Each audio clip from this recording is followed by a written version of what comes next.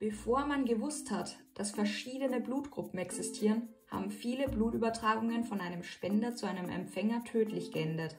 Damals wusste man nämlich noch nichts über die gegenseitige Unverträglichkeit von verschiedenen Blutgruppen. Mittlerweile hat sich das sogenannte AB0-System von dem österreichischen Arzt Karl Landsteiner durchgesetzt. Laut diesem System kann man zwischen vier verschiedenen Gruppen unterscheiden. Und zwar Blutgruppen A, B, AB oder 0. Diese Unterscheidung erfolgt durch das Vorhandensein von Antigenen. Antigene sind Moleküle, die sich auf der Oberfläche von Erythrozyten befinden und ihre Struktur festlegen. Es gibt zwei verschiedene Antigene, das Antigen A und das Antigen B. Welche Antigene man besitzt, ist erblich festgelegt. Es hängt also von der Blutgruppe der Eltern ab. Besitzen die Erythrozyten das Antigen A, so bilden sie auch die Blutgruppe A. Besitzen sie das Antigen B, so bilden sie die Blutgruppe B.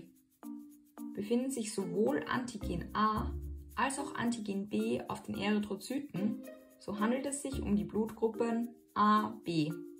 Besitzt er allerdings keines der beiden Antigene, dann handelt es sich um Blutgruppe 0. Jetzt wissen wir also, wie man die einzelnen Blutgruppen bestimmen kann.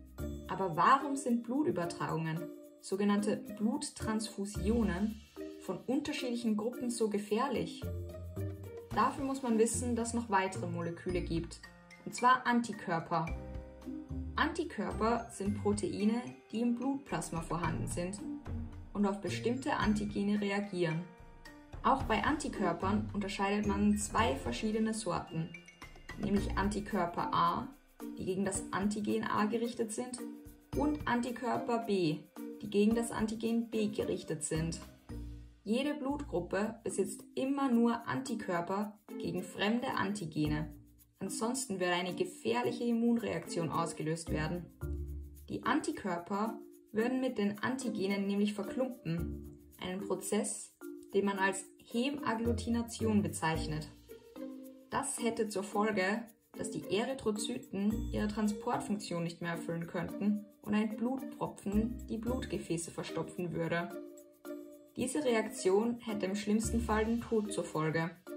Aber schauen wir uns jetzt noch einmal die einzelnen Blutgruppen an. Das Blutplasma der Blutgruppe A enthält Antikörper B und das Blut der Blutgruppe B enthält Antikörper A. Weil das Blut von Menschen mit der Blutgruppe AB sowohl Antigen A als auch Antigen B enthält, besitzt diese Blutgruppe keine Antikörper. Weil hier keine Antikörper vorhanden sind, können Menschen mit der Blutgruppe AB das Spenderblut von allen anderen Blutgruppen erhalten. Man bezeichnet sie daher auch als Universalempfänger. Anders sieht es aus bei Blutgruppe 0. Dieses Blut besitzt keine Antigene, weswegen im Plasma sowohl Antikörper A als auch Antikörper B vorkommen. Sie können daher nur das Blut von anderen Menschen mit der Blutgruppe 0 empfangen.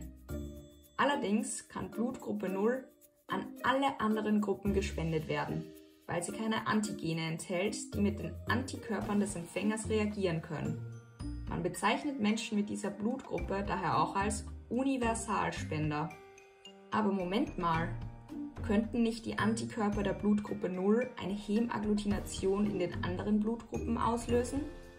Nein, können sie nicht, denn das Spenderblut wird vor einer Transfusion noch ein bisschen bearbeitet.